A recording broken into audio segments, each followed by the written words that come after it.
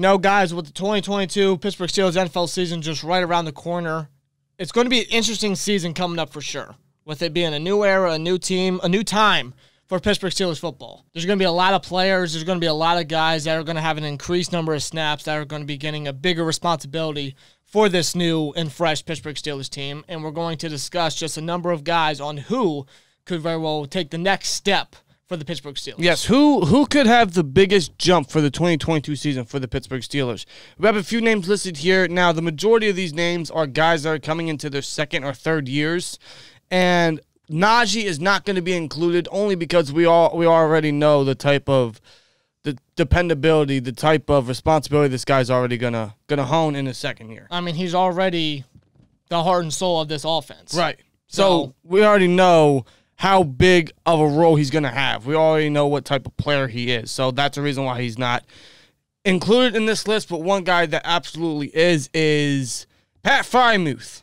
And the reason why I put Pat Freiermuth is because I do believe his role is going to be increased as he will be the full time starting tight end in his second year. And I'm excited to see what he can do in his second year. Already getting his feet wet last year.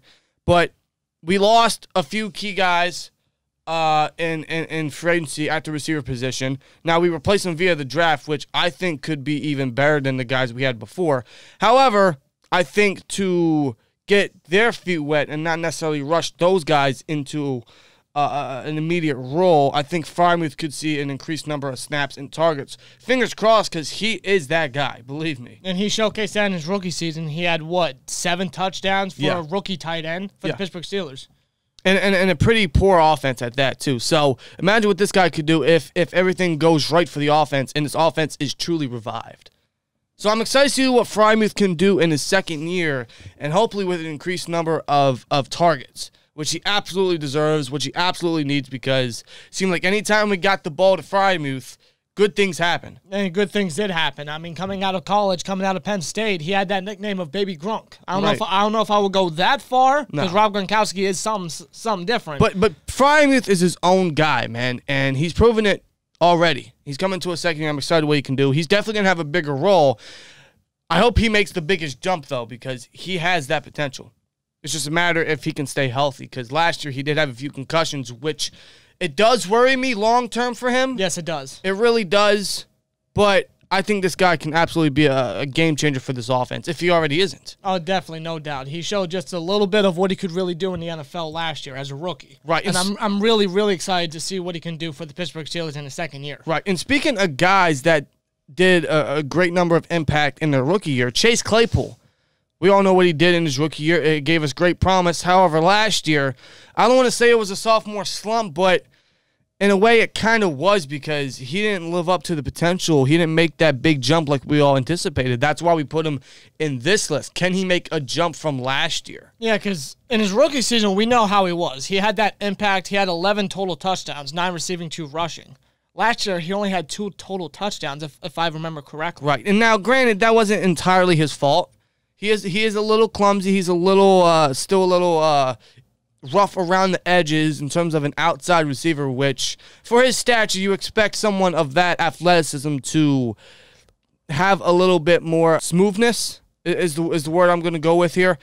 But at the same time, the quarterback play was also a little iffy on his part, and he didn't. He wasn't really put in positions where he could make big plays, where he couldn't show himself as big play Clay, which we like to call him nowadays. Now, in his third year, fingers crossed, and I'm just going to assume. I, I don't think there's been any clarification. This is just my assumption. He's going to be the new slot guy. He's going to be moved to the slot. Which, if you saw last year, if you paid attention, his two best games he had last year, which each of them had 100 yards, where was he? He was in the slot. Yeah. That Broncos game that took Juju out, Claypool was inserted in the slot, over 100 yards and one of his two touchdowns. Yep.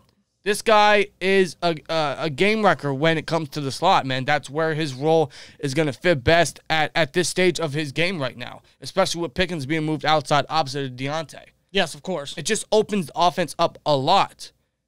So, can Claypool make a big jump from 2021 into 2022, along with Freiermuth? If he were to be inserted into the slot, I really hope so because although he has the size and the potential to be an outside guy, like you said, he's still a little rough around the edges. Right. You know, he's still got some rawness left to him. Now he's still young; he can still work on that. But I feel like he can definitely get better at at what he needs to get better at. Right. excuse me, if he's in the slot. That's a complete mismatch. He's speedy. He's got decent hands. And that size is just it's, it's, it's filthy, man. Like I said, it's a, it's a mismatch, and you got Diontae and more than likely George Pickens outside. You put Claypool in the slot.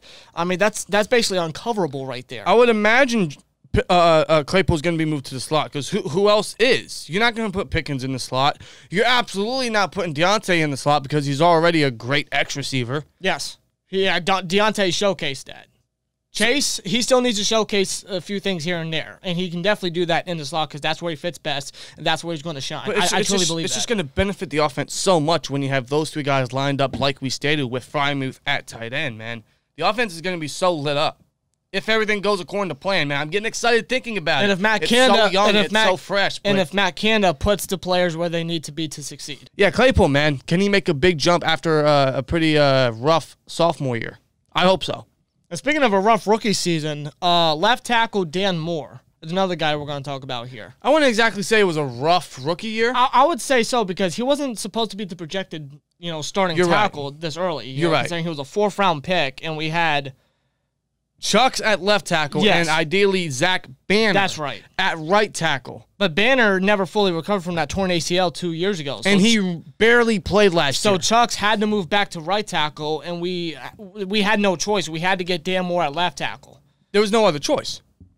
So that's why I say it was kind of rough, and especially early on, Dan Moore, you know, he was basically getting his feet wet Right. in the NFL. Knowing this year he's going to be the starting left tackle, in my opinion, he'll have that preparation mentally. He should be prepared more. And he, I, I gotta say this about Dan Moore, man. As the season progressed, you could you could see he definitely got better. Yeah, you definitely He- saw you saw growth, and with a year under his belt, and him uh, projected to be the long term left tackle for the Steelers, I think Dan Moore could really have a big, big, you know, leap year for the Steelers. I absolutely hope so because the tackle position is incredibly important in the NFL nowadays, especially when it comes to an offense and and, Trubisky slash Pickett, whoever the quarterback's going to be, their blind side, and that's Dan Moore. He's going to have a big responsibility, and hopefully he has that big jump heading into his second year. Where last year, Rob says it was rough, which I kind of agree, but he got better and he's just getting warmed up. But now he has that preparation where he's like, hey, I'm actually going to be the starter now. I understand that. I understand I got to get better at this and that. Let's go. yeah. And I remember Big Ben just uh, right before his retirement. Actually, he said that he believes Dan Moore could be the long term Steelers left tackle. I absolutely agree. And I think Dan Moore does showcase that potential. He just got to work on the mechanics and stuff like that, and even having another offensive line coach under his wing. Right. Maybe that helps. I don't know. We'll see how he does. But I would hope so, and hopefully this one actually stays longer than the, the full season. but I do have high hopes for Dan Moore. I think he could really be something for the Steelers. yeah, definitely. Now we go from offense to defense. Alex Highsmith.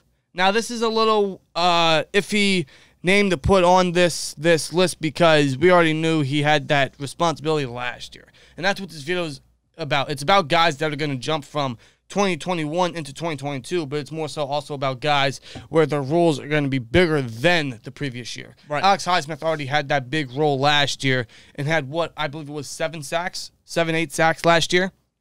But with the majority of them actually coming to the later part of the season, Right. Where he really stepped up big time. Exactly. So the reason why I put Highsmith in here is because he's definitely going to be dependent on a little bit more in the pass rush aspect this year. In his third year, in his second year as a full time starter opposite TJ Watt, hopefully he makes a big jump because Highsmith, man, has that double digit sack ability. He definitely does. I thought he was going to have it last year. Unfortunately, he didn't. I definitely think he can do it this year. I think him and TJ are just starting to show that that potential of what type of duo they can be. They did it last year, and the chemistry's growing, honestly. And imagine what that can do for this this defense, which on paper next year's already looking great. It's looking very scary, and it's going to be, I think, a lot more beneficial for sure. I think they can just feed off each other and absolutely just just they complement each other so well already. Just imagine what what's going to happen now with Highsmith stepping up into his third year, second year as a full time starter. Yeah, and just just wreak havoc and just make quarterbacks piss their pants. Exactly. I think that that's dangerous, and that's a great thing to, to think about for Steelers fans.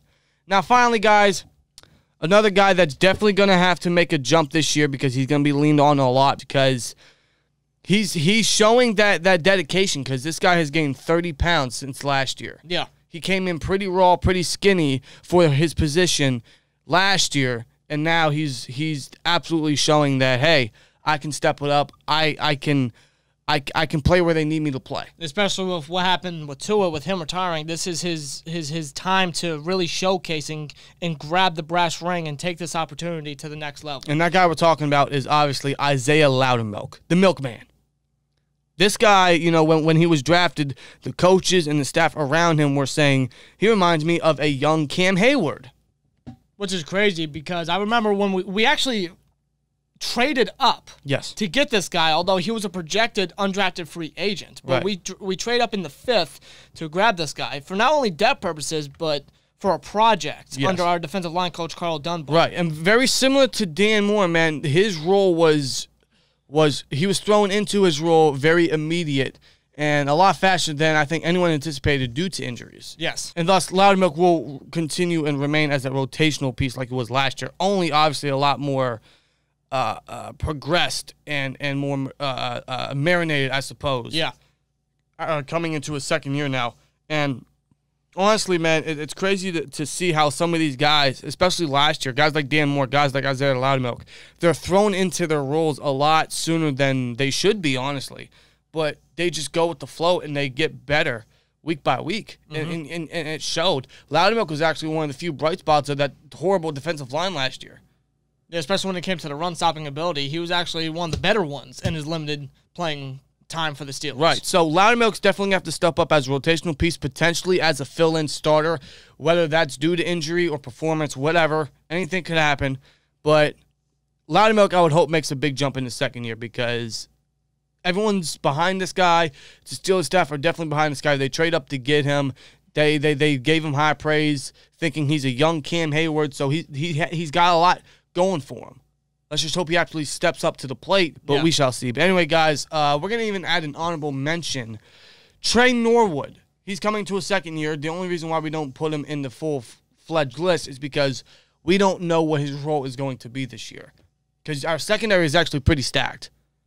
Yeah, for for the first time and I actually say in a while. Right, because Levi Wallace, Ahkello Witherspoon are starting outside guys. You have Cameron Sutton moving to the slot, I'm assuming. You have Arthur Maulet, Karl Joseph, and Damontae Kazee as your dime guys. I don't know where Norwood fits in. He's going to have to fight for, for, for, for a spot Yeah. uh, to get on the field. Honestly, I think he'll make the 53. I just don't know if he'll see time on the field. He'll definitely play special teams. That's where he's really good at. But I like to see him on the field. I just don't know how immediate that's going to be in the second year. Right, of course. But I'll put him as as an honorable role because I think he could definitely showcase that continued potential he showed late last year in his second year if he's getting the opportunity. It's just it's gonna hard. It's kind of hard to see it now how stacked it is, but we'll see.